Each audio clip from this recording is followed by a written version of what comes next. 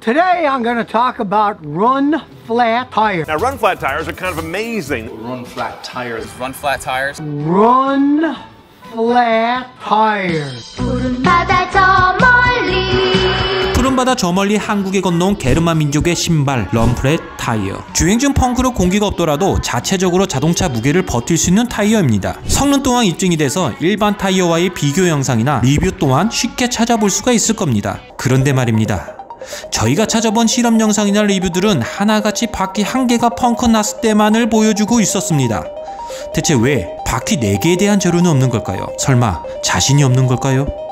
지금부터 게르마 민족의 신발에 숨겨진 비밀을 알아보도록 하겠습니다.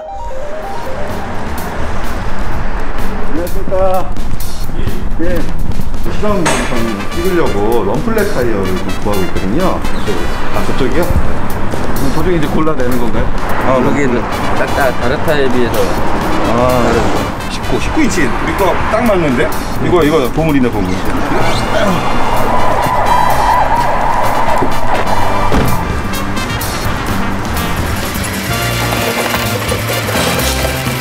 $5, $5.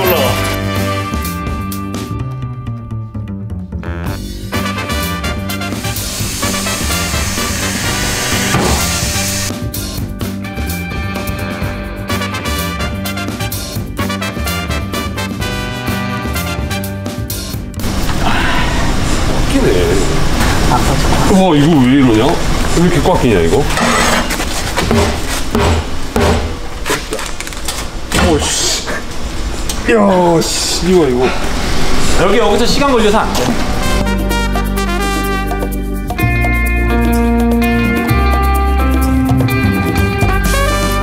이거 빼고 빼서 요걸 껴달라는 얘기죠?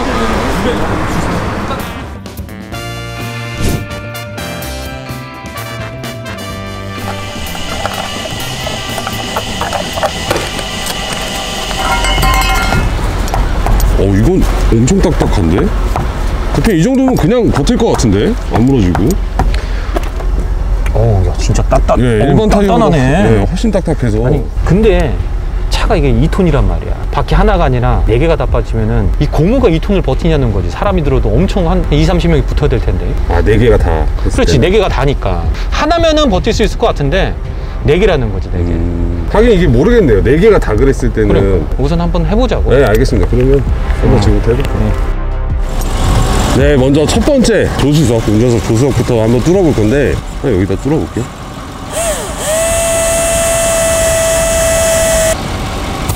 어? 나온다 여기 보이나?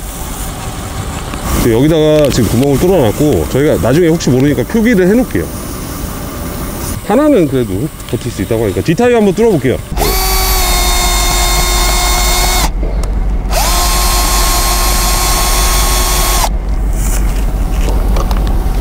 지금 네, 여기도 마찬가지로 많이 나오는데? 바람이? 이게 타이어가 뭐 주저앉거나 이러진 않는 것 같아요 지금. 되게 단단하고. 야 이게 진짜 버티는 건가?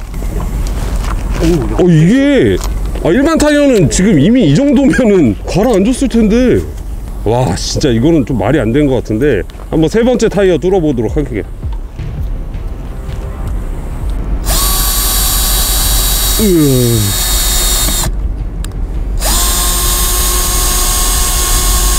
어, 근데 신기하긴 하네. 공기압이 신 몇 밖에 안 되면은 아예 주저앉아야 되는데. 여기, 여기도 세 번째도 마찬가지로 지금 구멍을 냈고. 오우씨.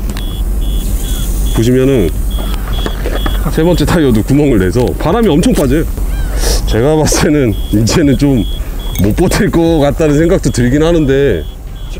여기 15야. 네. 한테 15. 12예요? 12야, 12. 거의 다 빠진 아, 거지. 15구나, 15. 15. 15 면 거의 없는 거예요. 저희가 지금 중간에 지금 첫 번째 타이어를 보고 있는데 지금 여기 TPMS에 13까지 내려갔어요. 13 정도면 일반 타이어로 봤을 때는 진짜 아예 바람이 없어서 바닥에 아예 타이어가 고무가 주저앉을 정도고 지금 바람도 계속 나오고 있거든요. 네, 여기 바람이 계속 나오고 있는데 마지막 운전석 쪽, 그 엔진룸까지 있어서 무거운 저 마지막 바퀴를 한번 뚫어서 어떻게 되는지 한번 보도록 할게요.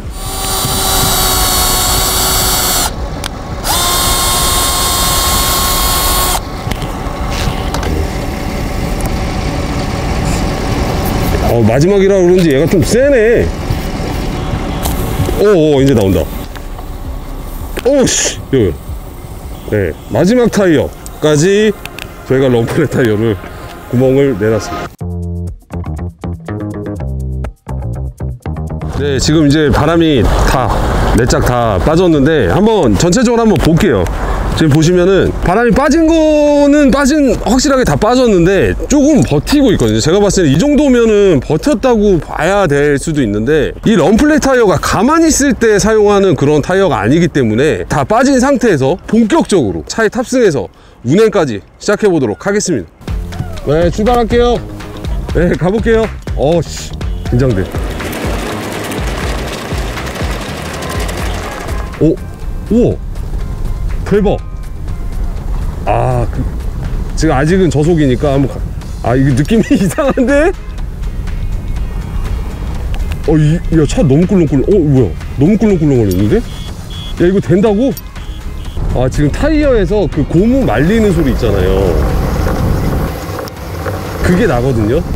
와, 근데 이- 이거 이상한데? 기분이? 다른데?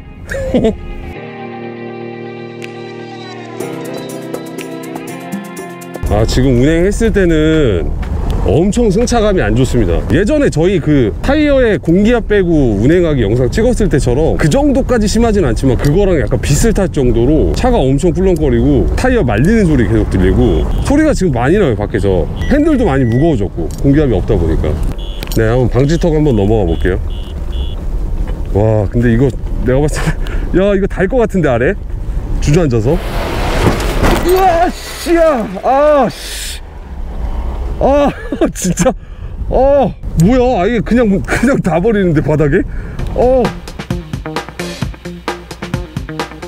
네, 저희가 지금 방지턱도 넘고 주행까지 해봤는데 기본적으로 에어서스가 좀 앞에가 망가진 것도 있지만 바람이 없다 보니까 아예 그 바닥에 닿는 상황이라서 고속 주행까지는 좀 어렵고 지금 여기 최대한 밟아서 속도 내, 내본 다음에 어떻게 되는지 한번 해봐. 밖에 빠지는 거 아니야. 아 해볼게요. 갈게요.